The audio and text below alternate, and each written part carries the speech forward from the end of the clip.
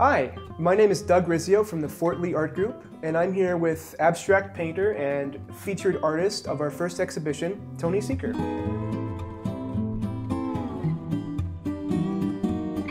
How did you get your start as an artist? Uh, probably a conception, but more likely with a splatter on delivery.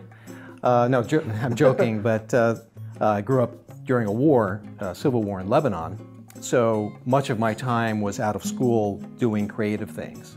During that time, I used to paint these model airplanes, the warplanes, in their camouflage colors.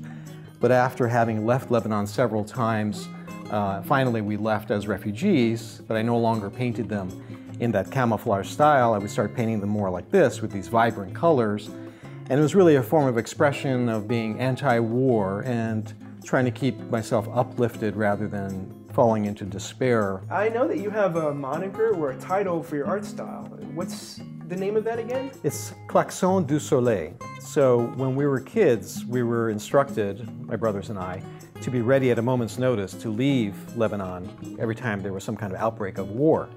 So the last time we left, I kind of cheated, and instead of taking a novel or something, kind of a learning opportunity, I took the Guinness Book of World Records. Okay. I found Lebanon cited twice once for the largest bank robbery ever at the time, and the other one was the most number of honks, car honks per mile per minute.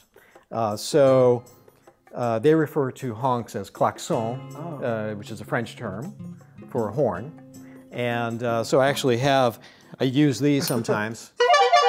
so klaxon du soleil is basically the honk with combining it with the French term for sun. So it's oh. the ah. explosion of the sun or the color or the vibrancy, the life from the sun force. Oh, okay. And so that's why I thought that Klaxon du Soleil kind of embraces my, both my style, which is, tends to be colorful and explosive, sure. but also my personality and my joie de vivre. Do you have any message that you want to impart upon your audience through your paintings? Yeah, I think for me, growing up and, and having traveled different countries at a young age and observing how people are different but yet the same, mm. just coming at things from a different angle, I think the way that I paint, bringing things together, it looks like there's a lot of distinct elements, but as you get further away from it, it looks like, well, there's one piece there. So it's really about unity. So the, the tapestry of life where we're all different, but we're also connected in some way. And my, my, my idea of trying to inspire unity and being part of a solution to world change is part of what drives me. So that's part of my message, inspiration for my art. All right, well, thanks for meeting with me, Tony. My pleasure. Thank you very much. Uh, this was Tony Seker, the flagship artist of our first exhibition. I'm Doug Rizio from the Fort Lee Art Group. If you'd like to learn more about Tony or learn more about Flag, you can visit our website at fortleeartgroup.com or you can go online to Facebook and Instagram and view our pages there.